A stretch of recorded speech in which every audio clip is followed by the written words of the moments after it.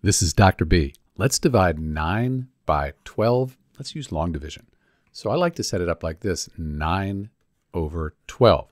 How many times does 12 go into 9? And you could simplify this down to 3. 3 goes into 9 three times. 3 goes into 12 four times. 3 fourths. And that does equal 0.75. But let's do this with long division.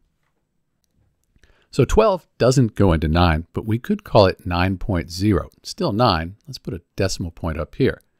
So 12 goes into 90. 5 times 12 is 60.